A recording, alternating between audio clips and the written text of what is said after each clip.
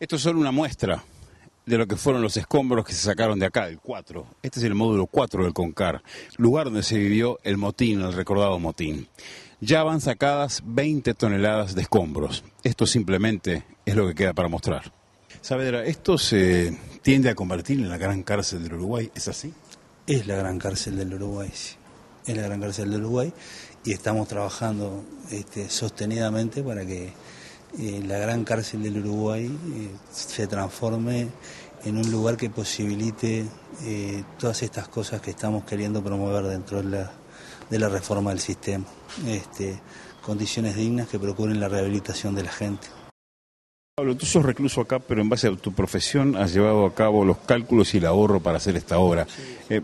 ¿Qué, se ahorró? ¿En qué se ahorró y cómo se ahorró? Bueno, esta obra, junto con la que tú ya viste de Cárcel de Mujeres, salió 508 mil dólares del presupuesto. Comparado con el módulo 3, que es idéntico que este, estamos hablando que ese módulo salió 3 millones y medio. O sea que la diferencia, si bien eh, los aportes eh, y los gastos de personal son diferentes, porque el personal de aquí gana mucho menos, pero hay un reciclado de todo tipo de materiales, lo cual redunda en un ahorro de 10 a 1 con respecto a, una obra normal, hecha por una empresa privada. Dame un ejemplo, por ¿en qué? Y, por ejemplo, los bloques, los bloques tenemos que el módulo anda en el orden de los 40 pesos, nosotros los construimos a 17.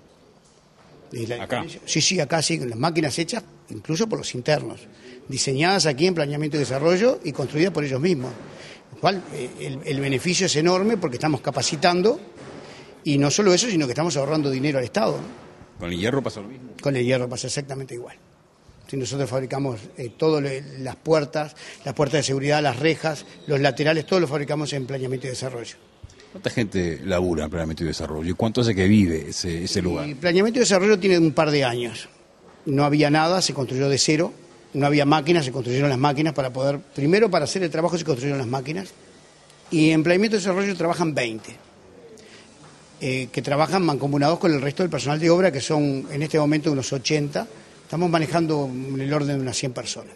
¿Con 100 personas se alcanza a ahorrar más de un millón y medio o dos de dólares? Bueno, te digo que cuando terminemos con la sexta obra, que está previsto, está el hospital penitenciario, módulo 4, el 5, el módulo 2, la cárcel de mujeres, el patronato y el Instituto de Formación de Operadores Penitenciarios. Eso andaría en el orden de los 20 millones de dólares. Nosotros vamos a gastar tres. Esta es la parte que está, supuestamente es el esqueleto de cómo queda eh, una vez sacado todo el material, todo lo, que había que tirar. ¿En qué se va a convertir este lugar? En nuevas celdas, las celdas que eran antiguamente el, el, sistema de cuatro celdas, de celdas para cuatro personas, van a quedar de cuatro. Y las celdas que eran en forma individual también se van a convertir en tres celdas de cuatro personas. Eso va a aumentar la capacidad locativa, no solo aumentar eso, sino la comodidad para los propios internos. Si tuviéramos que ponerle la ropa a esta celda para mostrar cómo va a ser, esta va a ser una celda para cuatro personas. Son camas de hormigón, ¿qué es lo que cambia respecto al anterior módulo? Que las camas eran de hierro y las mesas no tenían mesas, las mesas se las hacían ellos mismos. Ahora acaba de haber una mesa de hormigón con cuatro bancos, va a haber un baño que va a estar este, dividido y va a estar este, con, las condiciones de, higiene correspondiente y de, intimidad correspondiente, y después cuatro camas que van a ser este, también de hormigón. ¿Gana algo en seguridad esta obra que se está haciendo? ¿Las puertas van a ser las mismas, remodeladas? Las puertas van a ser nuevas, se van a remodelar todas. ¿Qué tipo de puerta va a ser? Hierro. Las autoridades nos permitieron ingresar en lo que es el módulo 4 y el 5, como las dos caras de la luna. Este es el que se está reconstruyendo. El de allá es el que quedó como después del motín. Hemos podido ver lo que se pretende sea esta cárcel. El CONCAR, estos módulos, son la gran cárcel del Uruguay. Me decían algo así como la horta del sistema carcelario uruguayo. Acá van a venir 300 presos en otras condiciones, condiciones factibles para la rehabilitación.